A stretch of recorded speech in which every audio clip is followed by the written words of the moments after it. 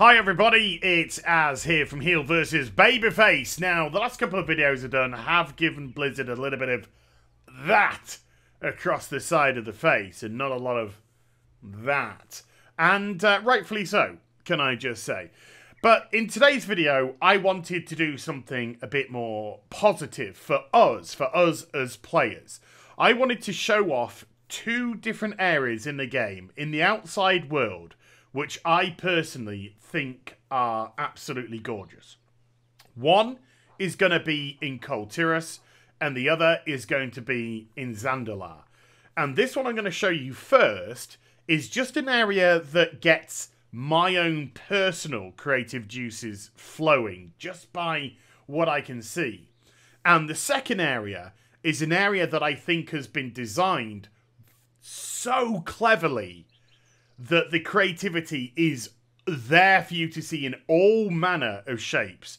Uh, but we'll get to that soon enough. So, with that said, I want to bring up on the map where I am so you can find exactly uh, this place in the game should you wish to visit it yourself. And I'm on my Horde character. Not that that means anything, it's just that it was more convenient for me to arrive here and come up. Because lazy. So I've come up the side of the Horde base, and this here, coming up right now, boom. This area, to me, is just utterly, utterly gorgeous. Now, full disclosure, I am a country boy. I am a country bumpkin. I love to live in uh, rural areas. I've lived in Yorkshire pretty much all my life. I don't like urbanized areas. I prefer to live in small villages, towns, places like that that are very close to the countryside.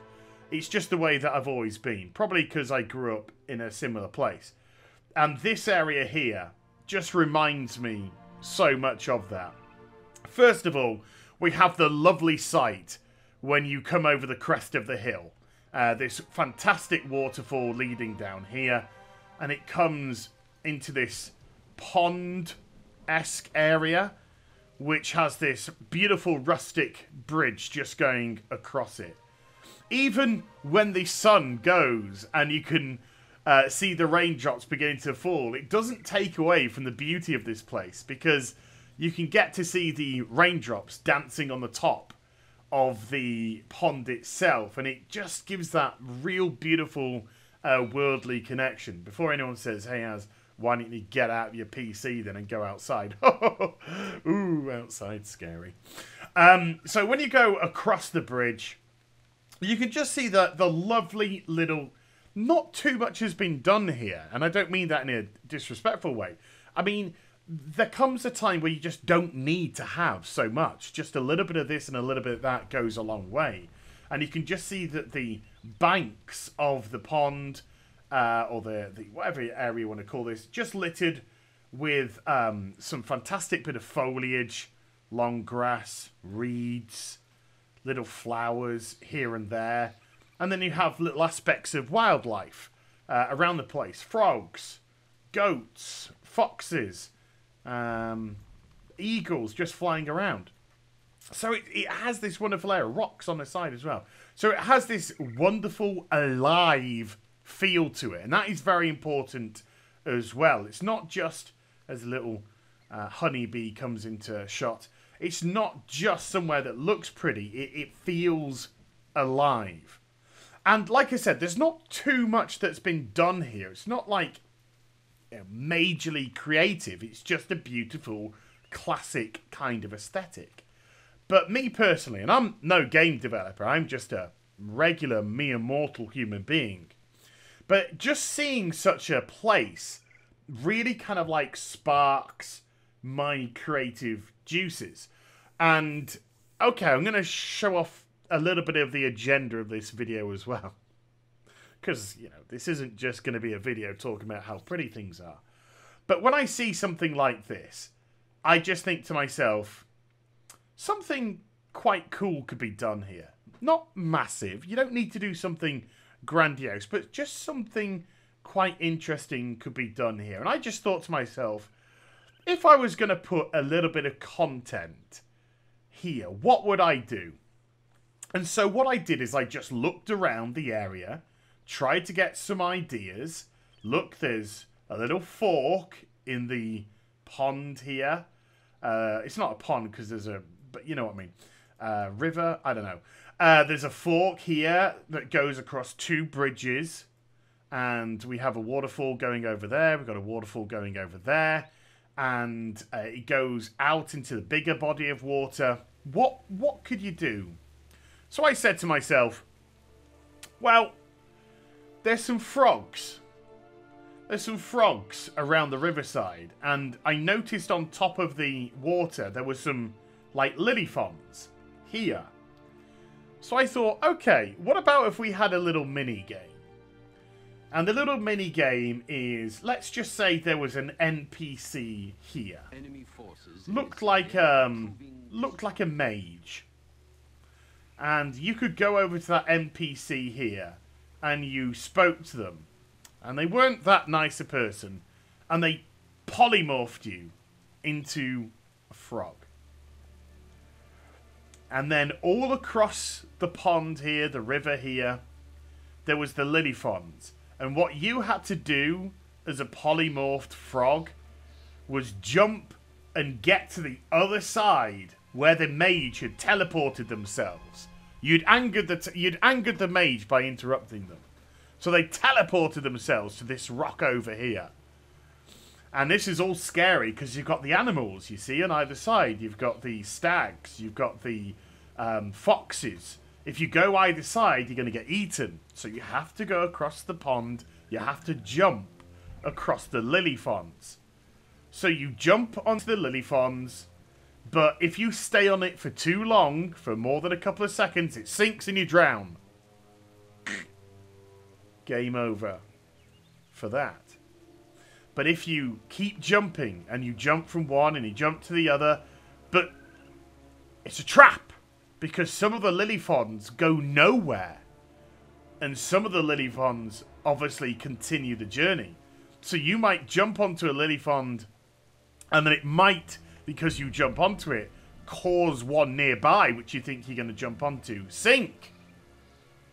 And so you're stranded and your poor little froggy drowns again. And so you work out through trial and error.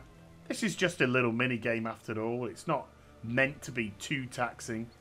But you work out by trial and error which way to go, how quick can you jump. Maybe you put little obstacles in, in here as well. Maybe the fish uh, maybe there's a, a, big carp in here that uh, has a bit of a penchant for froggies that tries to jump up and grab you through certain elements, so you've got to go through it a little bit quicker. Now, don't get me wrong. Uh, if any of you have listened to that idea and thought, "Az that sounds like the, the biggest pile of crap I've ever heard in my life," that's fine. That's great.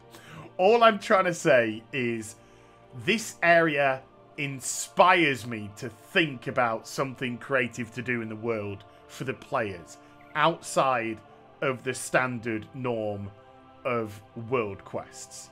Just something a little bit fun. And when you get yourself, when you make your way eventually to the, the final lily, you can tell it's the final lily because it's got the blue flower on it. And you, you leap up onto the rock where the mage is, and the mage is just like, oh, I'm sorry and then turns you back into your true form again. Maybe you get a reward of some sort, you know. Uh, maybe you get the frog that you were that you were uh, polymorphed into. Maybe get that as a pet, a vanity pet, but it looks a bit different. It's not a bog standard frog. It's not one of these kind of frogs. It's just something a little bit different. It's got a little bit of different aesthetic. Maybe when you get turned, it's a, a red frog with a Horde logo, and the Alliance get turned into a blue frog with an alliance symbol on the back. Something like that. To me, this area just sparks creativity. And I don't think it takes too much to think of things that can be put in. And I don't think a mini game like that would be too difficult, seeing how we've uh, already experienced in the game how we've been shrunk down in Karazhan in 7.1 and, and things like that. I don't think it's out of the realms of possibility that something of that sort of nature could be placed within the game. But this area, this area is what caused that. This area is what made me just try and think about something a little bit different. Whether you like the idea or not is neither here nor there. But it just kind of gave me uh, a, a creative spark. And I really like that. The second area, which I don't even have to have a single creative thought because it is all there right in front of my face to see. I'll show you exactly where I am. I am in Zuldazar and I'm up here. Uh, the Alliance can get a little base here, uh, but this is the Horde flight path. So this is the bridge. I love the elevation of Zuldazar, by the way. I love the fact that it has so much elevation and peaks and troughs. And you take the pathway up towards Atal Dazar, which is the dungeon. Now, this is where this area works on multiple levels. Number one, you see Atal Dazar, the entranceway, and if you look through it, you can see the actual dungeon itself, and you're thinking to yourself, ah, I can't get to there. But you can, of course, because if you go up this side area here, uh, you can follow it up to the top and then around, and it will actually take you to the physical world version of Atal Dazar. And there we go. So the first part of this incredible area, right here, for all to see. So not only is Atal Dazar a dungeon, but it also exists physically in the world. I think those aspects are great. And then if you look down, you'll see the top level mobs who are patrolling, and it, they're all over the place. There is actually uh, a world quest here, and that mob just there is also a world quest mob. But this isn't what makes this area so special for me. This is wonderful, absolutely gorgeous. But it's here. It's this side road which makes this area unbelievable. Because you come up this side road, and the way that it's been designed you just sort of think you come across here and... Ah, what a lovely view. What a great view. Again, another sensational waterfall. And then you can see the other side and see that there's actually a little pathway and such. And you're just like, huh, can I, can I go around at all? Can I get... No. And then you realise there's actually a pathway which goes here. And so you go back and you actually realise that this is a hole. And this is very clever. And, and the reason why this is clever, now, a lot of you may go, yeah, yeah, I saw that. But just let's go back. Here is how you approach it. And this is so very clever because this doesn't look like a hole. You, you'd have to have your camera really sort of angled to see that it was. Most people, I think, have their camera approximately where I am right now. And so that is very discreet. And because of the foliage, just at a glance or a bit of peripheral vision, you may easily miss that. So you can actually go up through there and it takes you round the back of the waterfall, which is just a stunning area to be in. And then the pathway continues down. And the reason why I took my Horde character is there is one of these forgotten chests here. Now, it'd be cool if there was, you know, if the, if the chests themselves were a little bit more special. But, uh, you know, that's by the by. The actual journey itself was excellent. And then you just realise that there's actually another little pathway which goes up here as well. And you could go round the back. You've got a waterfall there. There's nothing behind the waterfall, but you can sort of just, eh, if I just bounce myself, get up here to the other side of the dungeon and just access this area here. For what reason? No reason. No reason. Just to uh, just to experience it, just to see it. Um, and I just think this whole place, just go straight in, this whole place is just. It's breathtaking. It's stunning. It leaves me speechless at times. It's so, so beautiful. And such a clever way to get here. a little hidden pathway that you may or may not see if you're not paying that much attention could lead to just such a glorious area to be in. And if you haven't done that, then you know, you might be like watching this now being like, "Oh wow, I did not know." And to those people, yeah, how cool.